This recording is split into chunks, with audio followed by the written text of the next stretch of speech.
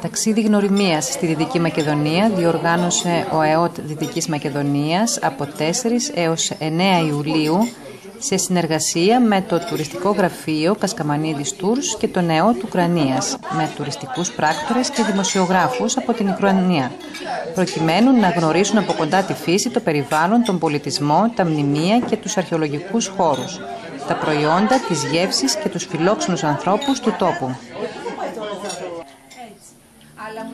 Την Κυριακή 7 Ιουλίου ξαναγήθηκαν στην περιοχή των Γρεβενών. Το μεσημέρι γευμάτισαν στο ξενοδοχείο Αχίλιον, ενώ το βράδυ διενεκτέρευσαν σε ξενοδοχείο του ορεινού όγκου. Στην αποστολή συμμετείχαν η Αντιδήμαρχος Οδυσσού, υπεύθυνη για θέματα τουρισμού, κυρία Ελένη Παύλοβα. Η Διευθύντρια της Διεύθυνσης Τουρισμού και Πολιτισμού της Οδυσσού, κυρία Τατιάνα Μάρκοβα, καθώς και δημοσιογράφος από μεγάλη εφημερίδα του Κιέβου. Δήλωσαν γοητευμένοι και ενθουσιασμένοι με την περιοχή, γνωρίζοντας πολλά πράγματα που ήταν άγνωστα στην Ουκρανία και στην Οδυσσό και που αξίζουν να τα γνωρίσουν και οι συμπολίτες τους.